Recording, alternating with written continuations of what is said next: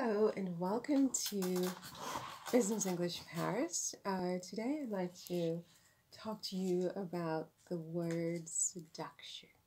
I don't know a thing about it actually, but um, I did cover that word uh, yesterday in on the blog, and um, I thought it was very funny.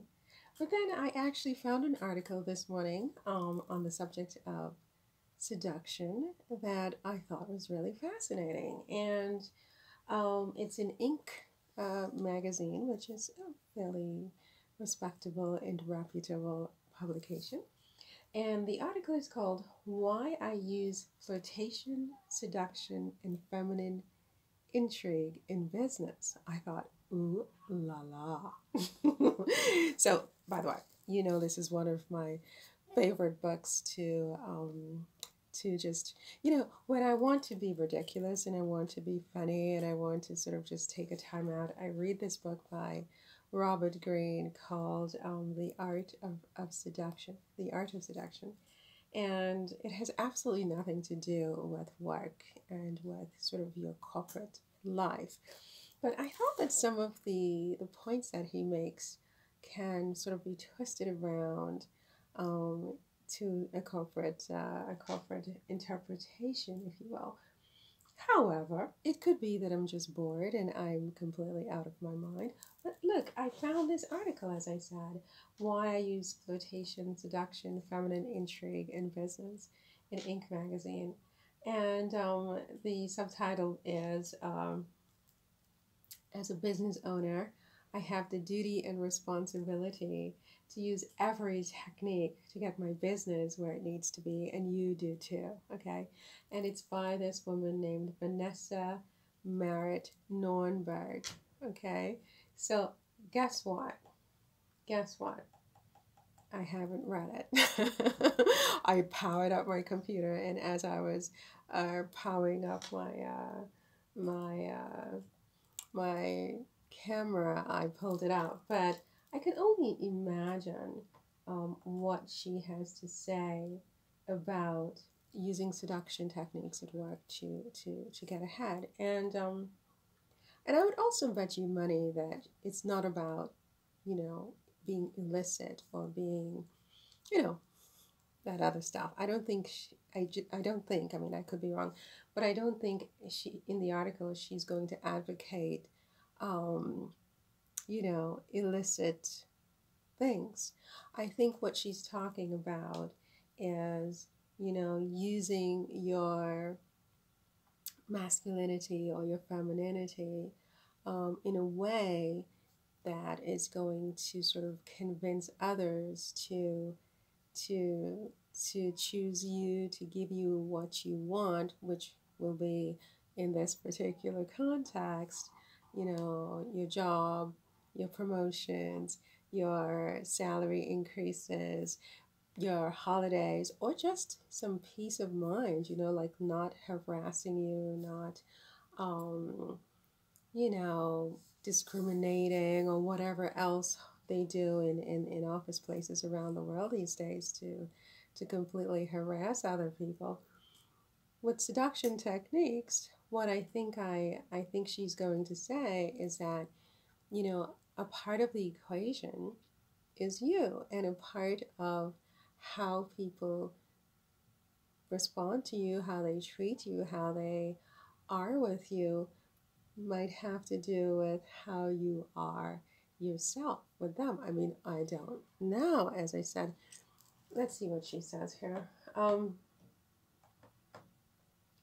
how many salesmen do you know who got golf club memberships to chum up to the right people? Okay. Um, how many times have you heard of businessmen taking clients out for a night on the town and incorporating a gentleman's club as part of the entertainment? I wonder what that is, a gentleman's club. I can only imagine, but have you ever been to a gentleman's club? I mean, what is that? What goes on? Okay, so so eyebrows are really lifted at either of these scenarios, I find, because they're viewed as mere tactics to advance one's business interests. Let's drop the double standard. Ooh. So women should take women to, I guess, uh, ladies' clubs. I wonder what those look like. I haven't been to those either. If a woman gets a vendor to understand what she needs by being flirtatious rather than forceful, or closes a deal because she knows how to make a client feel understood rather than defensive, that does not mean she's weak, trapped by the glass ceiling, or an inferior power broker. Mm. As a business owner, I have both the duty and the responsibility to use every tool in my toolbox to get my business where it needs to be. The well being of my employees and the health of my company depend on it. For this reason, it does not bother me in the least, nor does it harm my sense of feminism to use my feminine wiles in a way, in any way I see fit. The operative phrase here is how I see fit. Mm. mm, mm, mm okay, so, okay. What do you think about that? Okay, what do you think about this notion that um, we can use our femininity or masculinity really? I mean i'm sure men are men are also very seductive aren't they? I mean how do women end up being seduced because men are completely seductive? Um, do you think though that this natural sort of animal aspect of our nature as people um, can sort of be turned around um, in the business context, in a professional context, um, to sort of advance our interests and to advance our goals and to help us to achieve our objectives, but without, you know, crossing lines or boundaries that, um, you know, sort of go take it into a whole other realm that is completely different from what I'm talking about. I'm not even I'm not sure what she's talking about. I think she's talking about what I'm talking about. I haven't read the entire article as I said. But, you know, I am not talking about um, the illicit side or the corrupting side or the um, destructive side even um, of, of, of being seductive. I'm talking about or I'm really asking, I'm really not even talking about it because I really don't know if it works or not.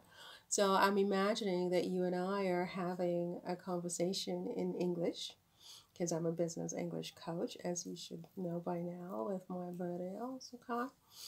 And I'm asking you, do you think that the um, that in the workplace there is a place for seduction and how how do you think that manifests? I mean, have you seen colleagues use their seductive powers, their femininity, their masculinity, their intrigue, their I mean whatever, okay, to to advance their interests, to advance the interests of their entire organizations, for example.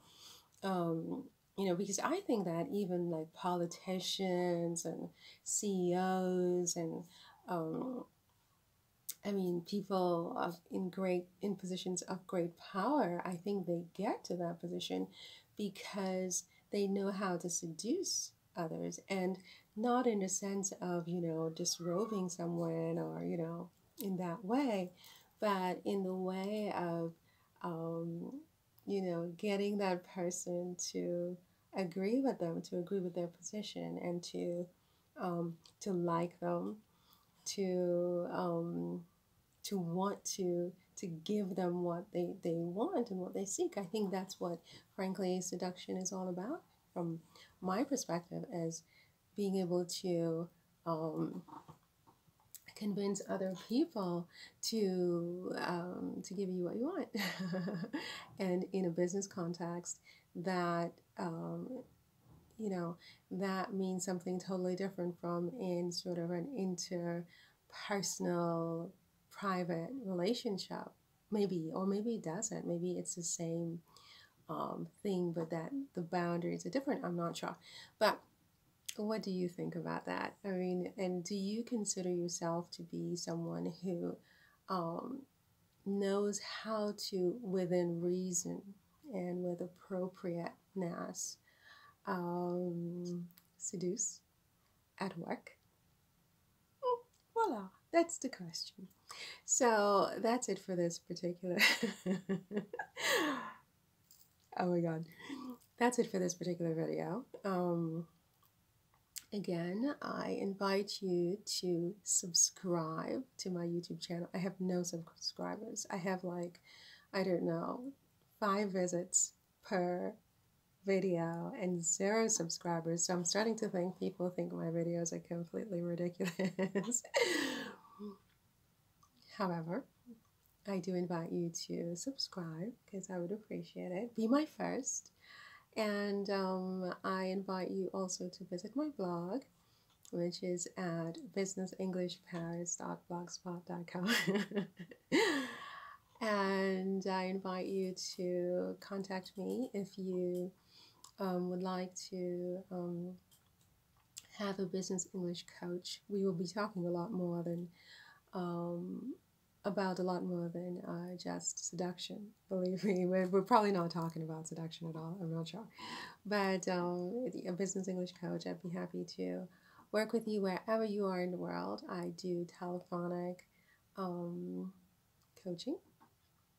Okay. And if you're in the Ile de France area, we can also arrange for face to face lessons if, if necessary. So, contact me. And uh, yeah, it, it was my pleasure to speak with you about this very sort of, you know, slightly risky topic, but interesting and fun nevertheless. And um, see you in the next one. Have a great day.